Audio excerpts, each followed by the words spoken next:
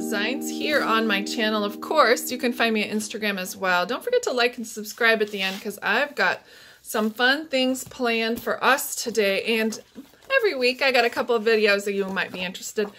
You'll never guess what I'm going to set up today. I have this beautiful A5 from Mommy Lhey. It is a ring bound, yeah, ring bound planner that I am ready to set up. And let me tell you a little bit about why. So I only have a couple videos about this. This is my faith planner, my faith journal. And I am looking for my 2019 faith planner. And so this is kind of what that's going to be. The problem is with this one is that it was very non-conformity. This is a, a Heidi Swapp planner and it had two rings and they were not matched up. And yes, the pages were about 8.5, but there was no flexibility involved between the two. Like I had to use the inserts with it, that came with it or else I didn't have anything or I had to use washi tape and repunch and blah, blah. So today we're going to be focusing on the dashboards and these are of course, you know me, if there's not one out there, I'm to make it. So I made an A5 dashboard template and of course, you have the outline here of the dashboard template, but I've also included a little bookmark that we'll be using as well. Let's run through this real quick. Um, when you get it, there's some protective covering here, and then you have a clear acetate, um, like kind of like a fly leaf, I would say, but we're to be using this today. And I know these are beautiful and they come with the planner. Um, uh, this this is adorable. These are ha these have tabs and I love the fact that they're so very neutral that we can use these as a jumping off point if we wanted to, or we can use some pattern paper. What you want to do is find this on my KRO Designs website. It's krodesigns.blogspot.com and it has a whole bunch of free templates. If you've been following me for a while, you'll know that I am addicted to making sure that you guys have all the parts and pieces you need to succeed in your plannering, and that's kind of an adjective, yes. Plannering. So I've got my bookmark cut out, and this at this point I'm going to take out this um, um, plastic acetate here, and I'm going to move this to the side. So what I'm going to be using is I'm going to obviously cut this and I don't have this tab here. I will be making one, but I wanted to include it for you just in case you wanted to use a larger piece of pattern paper, then it would be fine. But I thought it would be fun to use this. And what I'm going to use to decorate it is this wonderful Mommy Lhey. These are the gold um, washi strips that come in the Life Organized Paper House Productions collab sticker book. And of course, if you haven't seen this, I've got obviously a rundown of what's all in there and I've used it for a couple projects and I've really stoked about it. And I'm going to put you on fast forward so you don't really have to be painfully watching me, me move from, from here to here, but it shouldn't take long. All right, I'll be right back. Now I know that using washi tape at an angle is really not inventing the wheel with everybody having washi dashboards, but I thought it was a good way for me to show you that if you just take those washi strips in order on that sheet and put them down, and then make sure you have some acetate or some sticker sheet extra parts to put underneath, then you can just trim off those extra bits of gold tape and add it to the rest of the dashboard or the bookmark in this case. Okay. Okay, so that took about seven minutes to do, and I've got, the best part about it is it's double-sided. So I've got a gold side, or I have this um, silver side. And then don't forget, I'm going to punch holes in it, but I'll do that near the end. So I've got these scraps of this washi tape strips, and I've got a piece of paper. This is just actually from the bottom of this. It's just cardstock. What I'm going to go ahead and do is decorate this cardstock Okay, burnished them with my fingernail. And now I'm going to fold it in half. And then the fun bit is that I've got my tab punch that I got at Hobby Lobby. And this is a trick I learned from Mika Allen. I love her show, um, her channel. She's got some great ideas.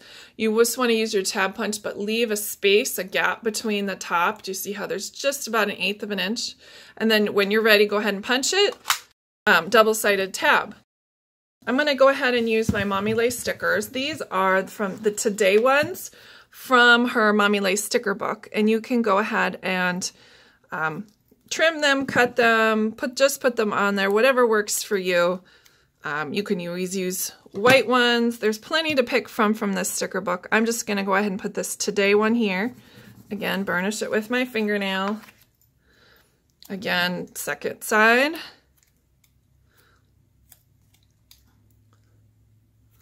And I, sometimes i am such in tune with what I'm doing, I forget to turn the other one down, upside down. So that's why we're just going to do it like that. And then voila, you have your own tab here. And instead of using regular glue stick like I usually do, I'm going to go ahead and use my favorite score tape. It is, well, I guess I'll use a little bit of it. I only have a little bit. Goodness. Well, I ran out of that kind, but I've got this other score tape. That's This is a um, an eighth of an inch. Now we're just going to go ahead and use our hole punches. We don't need to use the template because this actually, I just used the one from here and it was already pre-punched, but don't forget to use that hole puncher, the, um, the template if you need to. And there I go. I've finished punching all of the holes and I did put a little bit of a gap with a pair of scissors at the end of each hole. That way I can slip it in and out within the rings without a problem. All right, so there is my bookmark. It's all ready to go. Now on to the dashboard. So all of you regulars probably already know that I'm not a huge laminator. I really don't do that for my insert covers, at least in my TM. But for my ring bound planners, I like have to have it super sturdy. And the only way that I can think about doing that, besides doubling up on paper, and I really wanted that backside cloud, is just to laminate it. Now I don't need it to be perfect, and I don't need to have a border around it, and I don't need to have a pocket. I just need to have it sturdy. So there you go, weirdo kismism number 65. So I just use a package of die cuts from Mommy Lhey. This is from like way back. Um, I love this paper. I love this die cut set. And it went together, I think it was uh, March of 2016. That's how long ago it is. And of course, you see me using the trimmings off of my table, which I always do. Um, I just think using those extra little bits makes it super special. Um, it just makes it look like it's encasing that love here right in the middle. And of course, I'm using my score tape to put all of those die cuts down. I did use a glue stick to put the, the, the cluster in the middle together, but to put it actually on the laminate, you've got to use score tape. Alrighty, tag time, everybody. So I am addicted to making tags. I think they're a really great asset to put in any planner just because it's a great um, bookmark for at least for me. Um, I just put three layers together ripped added some enamel dots went ahead and added some die cuts and whammo you're done so I saw this on Mommy Lhey when she was previewing her sticker book. She's like, I made these little tiny squares so we could put pictures in them. And I've been saving these tiny little mini pictures from 2015. And I thought it was about time that I got around to using them. So I'm just putting together those stickers on some two by two and a quarter by two and a half size little extra bits of paper I had lying around. And then I just added a whole bunch of stickers from the sticker books onto those little squares. As you'll see, I punched three holes in them and then I used um, a wire O binding that I had left over from a previous project. And of course, I only needed three holes, but it worked out great and I think it really adds uh, a special homemade touch to any planner.